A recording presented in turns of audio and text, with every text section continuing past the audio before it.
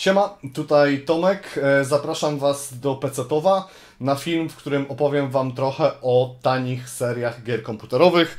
Tanie serie, na pewno wielu z Was się z nimi spotkało w tej czy innej formie. Tutaj parę sobie wyjąłem. E, tanie serie, które bardzo lubię zbierać, bardzo lubię kolekcjonować. Uważam, że ma to duży sens w przeciwieństwie do wielu kolekcjonerów, którzy nimi gardzą. I w tym filmie spróbujemy sobie powiedzieć, dlaczego je lubię, co w nich jest fajnego i dlaczego nie zgadzam się z osobami, którym tanie serie się nie podobają. Także usiądźcie wygodnie, nastawcie ucha i jedziemy.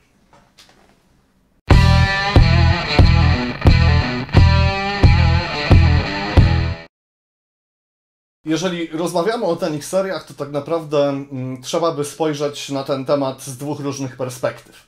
Pierwsza perspektywa to jest perspektywa gracza, a druga perspektywa kolekcjonera. E, ta pierwsza jest niezwykle prosta, bo jeżeli jesteście graczami, jeżeli lubicie gry komputerowe, jeżeli lubicie cofać się do czasów dzieciństwa, lat 90., 2000, e, to tanie serie są idealnym wyborem dla Was, z założeniem, że macie w co na czym e, te gry włączać, bo nie ukrywam, że przyda Wam się pewnie Windows 98 albo XP i wtedy większość z tanich serii będziecie w stanie spokojnie sobie włączyć, zainstalować bez żadnych kluczy, bez Steamów, bez tego wszystkiego, czego nienawidzę e, w dzisiejszym gamingu. Jeżeli macie komputer z Windowsem XP albo Windowsem 98, jeżeli jesteście takimi retro bardziej graczami, to tanie serie dla Was e, to jest raj, bo w ramach tanich serii myślę, że wyszło 90% gier, w które chcielibyście sobie zagrać, o których y, gdzieś tam czasem sobie pomyślicie, że o, fajnie by było do tego wrócić. Są wszystkie legendarne serie GTA, y, Call of Duty, Medal of Honor, StarCrafty, Warcrafty, no generalnie mnóstwo, mnóstwo dobrego, także jeżeli tylko E, zależy Wam na tym, żeby w coś pograć, to tanie serie, przeważnie te gry są do dostania, gdzieś do znalezienia e, w niższej cenie niż ich premierowe odpowiedniki, e, a często też w niższej cenie niż obecnie na Gogu czy na Steamie. Także na pewno z perspektywy gracza pójście w tanie serie to, to jest bardzo dobry pomysł. A co jeżeli chodzi o kolekcjonerów? Kolekcjonerzy mają to do siebie, że lubią premierowe wydania i generalnie brzydzą się e, tanimi seriami. To znaczy, tania seria to jest coś takiego po, po, jakiegoś pośredniego, niedorozwiniętego i ogólnie najlepiej się do tego nie zbliżać, bo to stoi na półce, zajmuje miejsce i kurz tam się ogólnie zbiera na tych, na tych boksikach. Um, no cóż, no, ja nie do końca się z tym zgadzam e, i w tym filmie postaram się powiedzieć Wam dlaczego e, i powiedzieć Wam to w takim, przekazać Wam w pięciu punktach, e, co lubię w tanich seriach e, jako kolekcjoner, to znaczy co w tym wszystkim jest fajnego z perspektywy osoby, która lubi zbierać, gromadzić sobie rzeczy na półce i lubi jak tam gdzieś na tej półce e, od czasu do czasu sobie rzuca okiem i fajnie to wygląda. Także Bądźcie ze mną dalej, jedziemy z tematem. Powód pierwszy. Tanie serie są tanie. Jakkolwiek głupio by to nie brzmiało, no to tak jest. To znaczy, jeżeli e, chodzicie sobie na bazarki, jeżeli e, robicie sobie spacerki po Allegro, po Elixie, e, gdzieś tam po różnych innych portalach w internecie, to tanie serie przewijają się tam na okrągło, gry z tanich serii i przeważnie można je dostać za piątaka przysłowiowego, także łatwo jest bardzo sobie jakąś grę ulubioną z taniej serii kupić, wrzucić sobie instalator i szybko sobie pograć. I tak naprawdę to, że tanie serie są tak w niskich cenach dostępne, powoduje, że bardzo łatwo Wam będzie rozpocząć kolekcję i bardzo łatwo będzie Wam e, doprowadzić ją szybko do takiego stanu, że pomyślicie sobie, kurczę, fajnie te kilkadziesiąt pudełek wygląda na półce i jadę z tym, z tym tematem dalej. Mm, także to bardzo zachęciło mnie początkowo, jeżeli chodzi o zainteresowanie w ogóle tematem e, tanich serii. E, po prostu ich łatwa dostępność i taka mm, nie, niezbyt duża dolegliwość dla, e, dla portfela i ogólnie łagodność dla tego, co w tym portfelu się znajduje.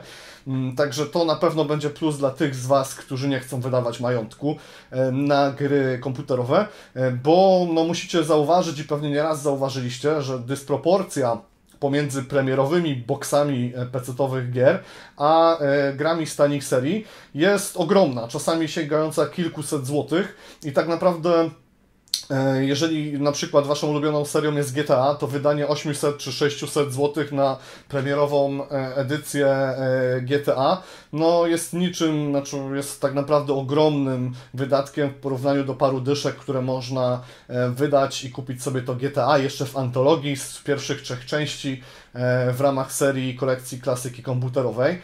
Mm, także jeżeli zależy Wam na tym, żeby troszkę przeoszczędzić, a jednocześnie lubicie zbierać, lubicie jak Wam rośnie kolekcja, lubicie sobie na nią od czasu do czasu spoglądać, to tanie serie na pewno są super wyborem, bo nie obciążą Was finansowo jakoś znacząco. To był punkt pierwszy. Jedziemy do punktu drugiego. Punkt drugi. Punkt drugi e, wiąże się bezpośrednio z punktem pierwszym. To znaczy, bardzo często spotykam się z zarzutem, e, że tanie serie są ogólnie nic nie warte i trzymanie tego na półce mija się z celem, bo po co trzymać coś, co jest warte złotówkę, 2, 3, 5, 10 złotych, jaka w tym przyjemność dla kolekcjonera. I mógłbym się z tym zgodzić, gdyby nie jeden mały szczegół. Mm, a tym małym szczegółem jest to, że nie wszystkie tanie serie są tanie i czasem zdarzy się coś, co jest bardzo rzadkie i poszukiwane.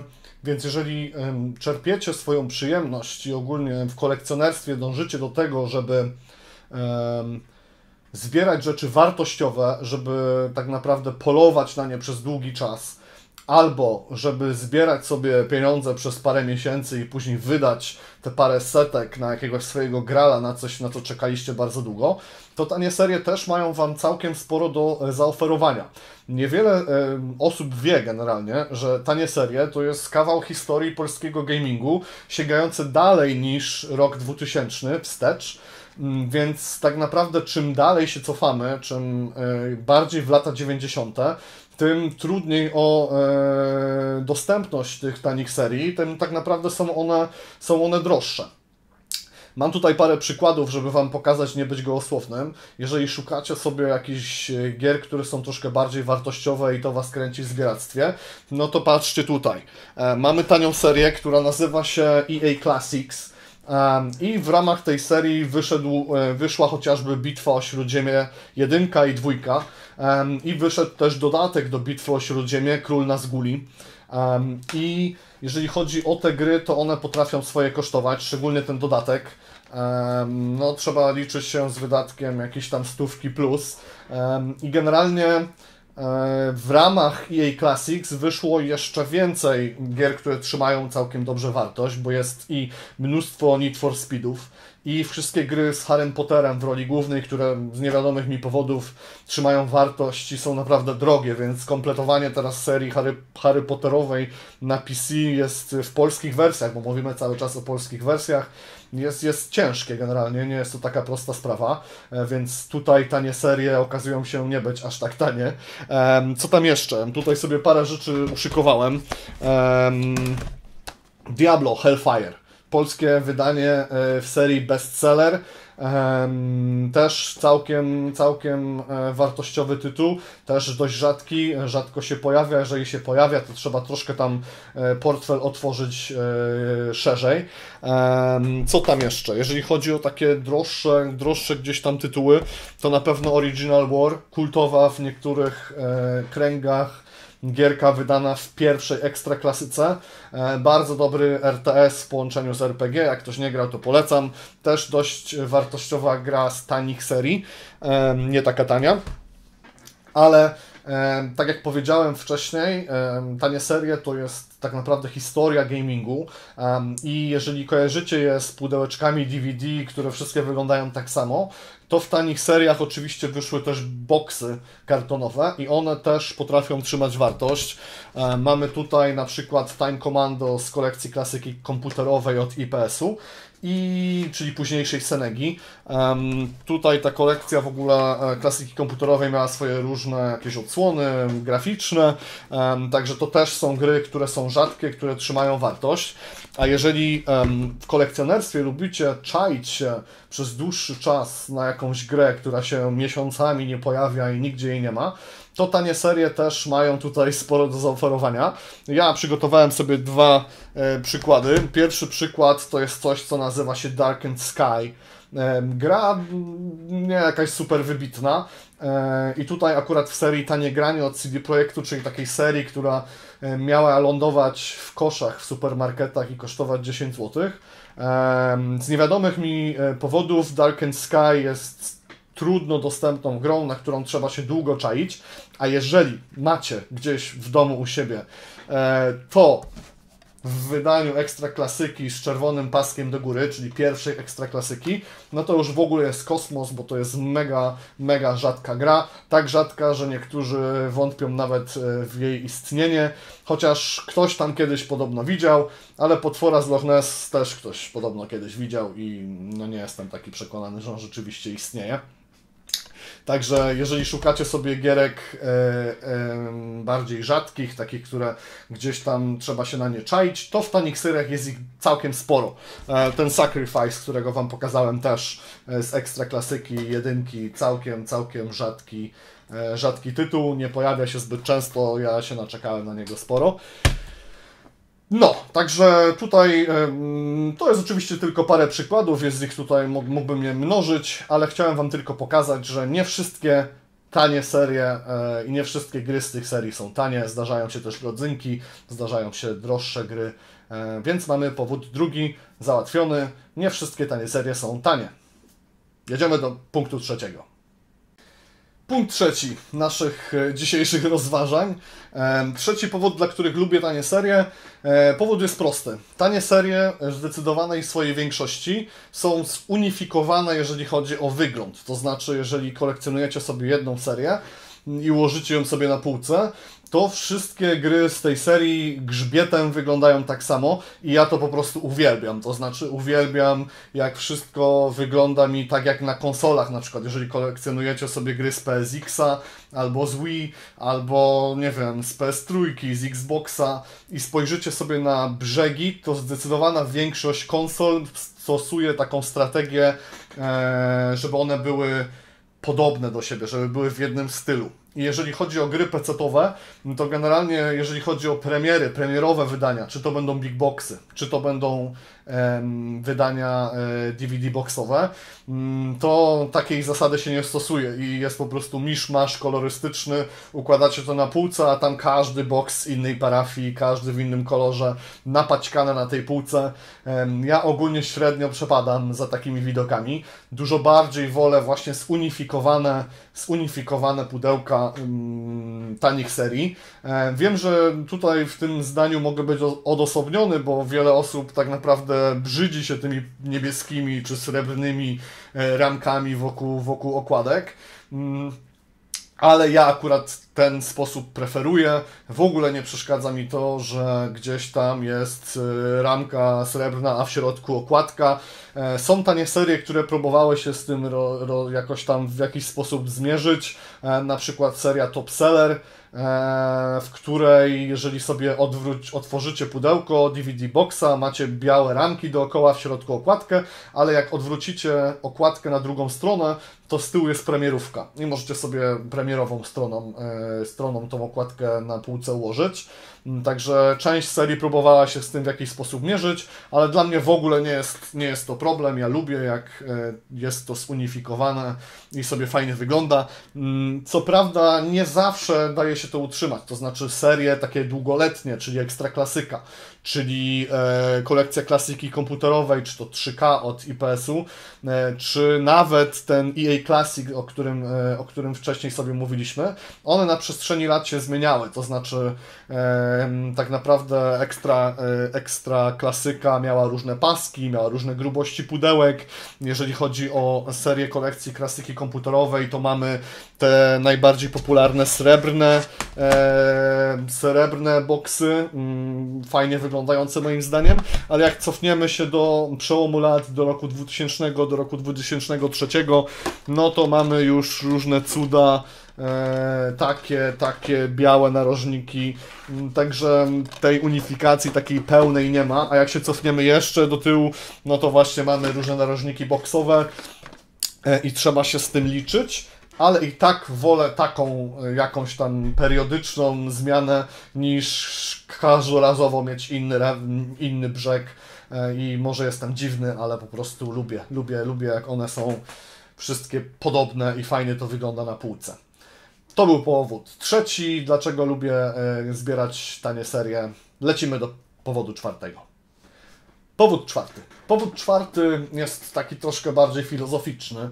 Mm, to znaczy, jeżeli jesteście kolekcjonerami, jeżeli lubicie kolekcjonować, jeżeli zaczynacie na przykład swoją przygodę z kolekcjonerstwem, to tak naprawdę ja przynajmniej miałem tak, że e, zbierałem po prostu wszystko jak leci. To znaczy, bez większego planu, bez, bez składu i ładu, e, co mi tylko wpadło w rękę, to zbierałem i, i to na dłuższą metę nie jest super pomysł.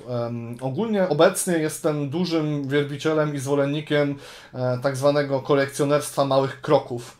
I tanie serie bardzo to ułatwiają. To znaczy, jeżeli nastawicie się, że zbieracie tylko i wyłącznie ekstra klasykę pierwszą z czerwonym paskiem, to tam jest 70 gier. I taki cel dużo łatwiej jest osiągnąć i dużo łatwiej jest do niego dążyć. I dużo łatwiej jest, yy, dużo szybciej tak naprawdę mm, zobaczycie jakieś postępy w tym kolekcjonerstwie i tak naprawdę zobaczycie, ucieszy Was to, że macie połowę, że macie całość, że zostały Wam 2, 3, 5, 10 pudełek do pełnej serii, niż na przykład zbieranie e, full setu yy, PSX-a europejskiego, albo full setu, albo nie wiem, wszystkich boksów Sierry. Oczywiście jest to do zrobienia i znam osoby, które e, w tym kierunku idą, ale są to cele bardzo długofalowe i nie ukrywajmy trudne. To znaczy, mm, zanim Wam się uda ten cel osiągnąć, to w międzyczasie coś Was jeszcze może 10 razy rozproszyć i pójdziecie sobie w kolekcjonersko w jakieś inne strony, a tanie serie ułatwiają skupienie się na jednym, bo są, bo, bo ułatwiają wybór tych małych kroczków. To nie znaczy, że jest mało do zbierania, bo jeżeli chodzi o tanie serie, to do zbierania jest więcej zdecydowanie niż y, jeżeli chodzi o boksy premierowe czy jakieś tam, nie wiem, konsolowe rzeczy. Jest ogrom y, tego, co można zbierać, ale małymi kroczkami łatwiej jest to sobie wszystko podzielić i dlatego bardzo też tanie serie kolekcjonerskie mi przypasowały, bo po prostu lubię. Lubię sobie wyznaczyć jakiś cel, że teraz zbieram to i nic innego mnie nie interesuje. To pozwala bardziej ukierunkować finanse, bardziej ukierunkować swoje poszukiwactwo, jakiś taki research internetowy. Ułatwia generalnie dużo rzeczy. Także to jest czwarty powód, dla którego lubię e, tanie serie zbierać. E, to, że ułatwiają metodę e, małych kroczków. Dobrze, to jedziemy do ostatniego, piątego powodu, dla którego warto jest wejść w zbieractwo e, tanich serii. E, tych powodów pewnie jest więcej, ale no ja sobie to zamknąłem w piątce, więc jedziemy do piątki. I ostatni powód, e, ostatni punkt naszego dzisiejszego filmu i będzie to różnorodność. Jeżeli spojrzycie sobie na tanie serie e, i zastanowicie się, zobaczycie, przejrzycie ofertę wydawców, którzy jeszcze istnieją, albo wydawców starszych, to zauważycie, że jeżeli chodzi o tanie serie, to po prostu czacha pęka e, od różnorodności, bo tak naprawdę do wyboru, do koloru. Od tanich serii bogatych, dużych, w big boxach, starych, nowych, e, no nowych może nie w big boxach, ale tak naprawdę mm, różnorodność jest potężna i to jeżeli chodzi o zawartość, o bogactwo tych serii, o cenę tych serii, bo są, bo są serie, które pojawiały się na rynku w cenie 10 zł, są serie, które pojawiały się na rynku w cenie 70 zł. Ciężko mówić, że to są tanie serie, ale generalnie chodzi o kolekcję i tak sobie umowowo nazwałem je tanimi seriami. Także jeżeli macie jakieś swoje upodobania, nie wiem, lubicie bardziej, lubicie mieć instrukcję, albo w ogóle Wam na instrukcji nie zależy, albo nie wiem, lubicie niebieski kolor, albo srebrny, albo lubicie boksy, albo lubicie jakichś konkretnych wydawców zagranicznych, którzy zostali w Polsce wydani przez jakąś konkretną firmę, no to tak naprawdę tych serii jest multum. Mamy serię e, CD Projektu, te najbardziej popularne, Ekstra Klasykę, e, mamy Top Sellera, mamy platynową kolekcję, złotą kolekcję, mamy kolekcję IPS-u, czy tam Senegi, e, czyli kolekcję klasyki komputerowej, e, mamy kolekcję tak naprawdę różnych wydawców, którzy zagranicznych, którzy otworzyli sobie w Polsce swoje przedstawicielstwa i tam właśnie EA Classics, The Best of Activision. No jest tego cała, cała masa i tak naprawdę ciężko by było tutaj wszystko opisać, opowiemy sobie o tym w kolejnych filmach. Ale generalnie różnorodność jest na pewno dużym plusem e, wchodzenia w tanie serię, bo naprawdę będziecie mogli wybrać sobie, e, dobrać sobie to, co zbieracie do zasobności swojego portfela, do preferencji, jeżeli chodzi o bogactwo wydania. Są tanie serie, w których tam w pudełku ogólnie nic nie ma, tak jak właśnie, tak jak właśnie to, e, gdzie mamy po prostu płyty, no nie mogę otworzyć i nieotwierające się pudełko. No i tu jest w ogóle takie opatentowane pudełko, które trzyma sobie płyty w ten sposób. No, więc macie i takie, i macie mm, pełne instrukcje, i macie złotą kolekcję, w której macie poradniki, macie mm, pudełka, DVD e, boxy, które są tam zgromadzone w jednym, w jednym e, takim zbiorczym kartoniku. No, tak naprawdę cała masa. Są oczywiście big boxy, jest kolekcja Zagrosik, Mirage, jest kolekcja właśnie klasyki komputerowej, e, jest Sierra Originals e, w polskim wydaniu, jest Replay, czyli takie tanie serie zagraniczne w big boxach, które zostały przetłumaczone i wydane w Polsce. E, I tam jest, pełny, jest pełna zawartość, są instrukcje, są mapy, są różne tam koła do wpisywania haseł na początek i tak dalej, i tak dalej. Także do wyboru, do koloru. No, jeżeli chodzi o, o, piąty powód, to myślę, że wyczerpaliśmy temat, znaczy nie wyczerpaliśmy, wyczerpiemy go sobie kiedyś, e, ale chciałem tylko Wam powiedzieć, że jeżeli podoba Wam się taki pomysł, żeby sobie w tanie serię wejść, to różnorodność jest ogromna. Dobrze, to myślę, że będziemy na tym kończyć nasze dzisiejsze spotkanie. Mam nadzieję, że część z Was udało mi się do tanich serii zachęcić, a przynajmniej zmienić troszkę zdanie o tanich seriach. E, koniecznie powiedzcie mi, co Wam się w tanich seriach podoba, czy zbieracie jakieś tanie serie, jakie są Wasze ulubione. E, a jeżeli nie lubicie tego, to też dajcie znać, bo dyskusja zawsze jest fajna. Pamiętajcie, żeby zasubskrybować, e, żeby obserwować, żeby komentować. E, bo na pewno będzie mi się bardziej chciało nagrywać kolejne filmy, jeżeli e, jakiś tam odzew e, z Waszej strony będzie. To by było na tyle. Mówił Tomek z Pecetowa. Widzimy się w następnym filmie. Cześć, trzymajcie się, czołem.